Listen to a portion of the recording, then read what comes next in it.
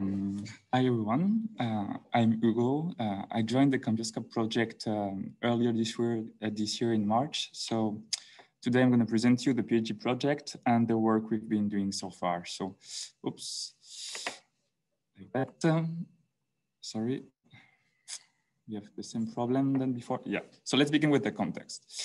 Uh, my work is to um, build the food and feed platform of Cambioscop, which is basically to know how can we make food out of residues. And we need to, to, to analyze if it's a good idea or not for France, if it's relevant, and if we can quantify it. So we separate the PhD project in those four steps. So uh, at the beginning, we need to, to know everything what is possible to go from a residue to a food ingredient. So to which residues do we start from, to go to which kind of ingredients, through which conversion pathways. No?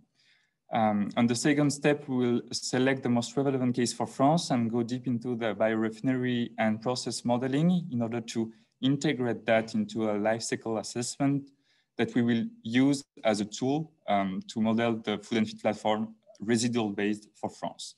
So those are the steps. And today I'm going to present you just the step one because of the state of, of our work so far. So let's um, begin with the waste to nutrition pathways that we found. Oops, we, um, we made this broad literature review. So the aim, the main goal was to find all the conversion pathways that linked the residual biomasses that were first, uh, prior presented by Shivesh to uh, the nutritional services. So we identify um, three categories. The first one is targeted compounds. This um, stands for specific molecules such as methionine, DHA. Uh, MRC is the common ingredient that we know uh, that are protein rich, lipid rich, or sugar rich. And the last category, it more apply for animals because it's low concentrated nutrients and low quality. So in this first stage, we had no filter. We looked at everything, scientific papers, industrial literature, patents and ventures. So we found a lot of pathway. Uh, here uh, we have the main categories. We, we aim to classify the main, uh, the main transformation uh, as physical, chemical, or microorganisms or animals. So I'm going to I'm going to comment them briefly. First, the direct enhancement. This stands uh, when we apply some soft process such as drying, milling, to uh, increase the nutritional value of a residues that can be used as a whole as an ingredient. The second one is cracking, is when you um, go to the molecular level to release small chain molecules or monomers out of the residual biomass. So like that, you can have sugars from wood, you can have amino acids from slaughterhouses wastes, for example. And the third category is when you extract a fraction from a residue. So in general, it's mainly proteins and it can come from diverse streams. Regarding microorganisms, we found two main approaches. The first one is to direct uh, culture the microorganism on the waste that can be li liquid or solid. And the other uh, approach is to first transform the residual biomass into a suitable fermentation medium. This can be gas or, or um, soluble nutrients, for example. Uh, the last category is animal conversion because we can see them as a non-edible biomass converter in, into protein-rich uh, ingredients. For example, the cattle, uh, it transforms grass into milk, basically. So you have as well the novel um, livestock, which are insects that are supposedly more efficient than that. So what you see is like you have a, a we have a wide panel of different technologies, processes, but if we consider them as a first uh, intent to compare them as a black boxes, what goes in, what goes out, what we found is that uh, they mainly can enter into uh, four categories. Uh, either they enhance the residues, they crack it, they extract it, or they bioconvert it. So those uh, family, I'm going to detail them a bit more. They, they are different in terms of two dimensions. Um, in terms of the the structure, structural change they induce uh, on the residual biomass and in terms of the uh, final fraction of the nutrient recovery. So for example, if you take cracking and bioconversion, the final products, for example, sugars or milk, it's molecularly and structurally different from the input, which were wood and, uh, and grass, for example.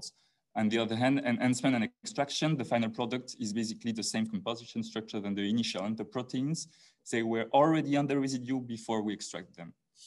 and regarding those dimension, enhancement and cracking, they have basically low um, low losses uh, in, if compared to extraction and bioconversion, where a significant fraction will be uh, will remain on the as a byproduct or, or as losses. Huh? So to, to illustrate that and to, to go a bit deeper in the, in the concept, we, we study the bioconversion efficiencies. So we have a lot of metrics to do that. This is ongoing work and those are not final uh, uh, data. But basically, we when some can, can uh, check the mass balance, we check the energy balance, so the calorie balance and the protein balance. So what goes in, what goes out. So what we see is like, this is common livestock. So we have a lot of background data for that you need to give 30 calories to a beef for him to give back one in its meat. So it's not that we call efficient, no? And protein, it's uh, 15, for example. So you see that you have some livestock that perform better than others, such as chicken, aquaculture. And you see that the, um, the insects perform quite good in that sense. Huh? But we try to, to compare that to the new, what we call new food, so the microorganisms. And obviously, it's not calories and proteins. They can convert non-protein nitrogen into proteins, which is a, a, good point in the sense, and they can convert non-carbohydrates, energy into carbohydrates. But what we see is like considering just the balances, they perform more or less the same regarding energy, but they can be much more efficient regarding nutrition, uh, nitrogen use. The main point of this, of this slide is to show that bioconversion seems can seem as a good option, but it will always be accompanied by, by low yield, uh, low efficiency. Um, so this is those four functions are just um, a way to visualize and to have first tool to compare them, but real transformation pathways, they combine several uh, cascading transformation steps. So to, to illustrate that, we made this scale. So on the upper part, you can see uh, the residual biomass that we classified according to their distance from being ed directly edible. So here it's the lignin content, for example, and the quality. And on the right side, you can see um, the final products that we classify according to the concentration. So just to comment the few examples that we displayed, you can have proteins from food waste through insects, for example. You can have DHA uh, that you extract from microalgae that were cultivated under hydrolysis of uh, straws. So this is a much longer, let's say like that, uh, a transformation chain. And the same way you can have salmon from wood if you consider the whole chain. So the, the first um, comment that we can have is like the, first, the, the, more recalcitrant the initial biomass, the more likely the, the need of transformation steps to commit uh, to, to arrive to uh, edible ingredients. No? And the same way, the more concentrate the final products, the more need of, of, of steps.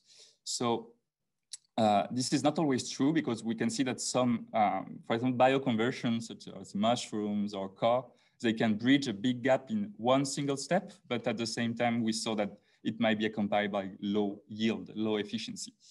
So um, we can state as well that the more steps, the more likely the drawbacks will accumulate. So it will challenge the sustainability of such routes. But uh, this is just a, a first uh, way to visualize. We haven't considered energy, chemicals, and the potential synergies with other uh, platforms because a byproduct is not always uh, a bad thing and can be used for, it can have a function.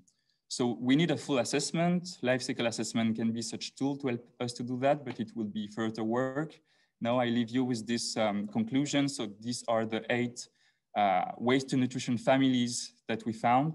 So they all are, um, they all start from a different feedstock. Some are more precise ones, such as slaughter, slaughterhouse waste, and some are more uh, versatile, such as gas intermediate biorefinery. Uh, they all have a different development stage and the more advanced one is the insect biorefinery. So if you want to, to know more, uh, we are uh, now writing a, a manuscript to, uh, with the objectives to publish it. So I will let you know. Thank you.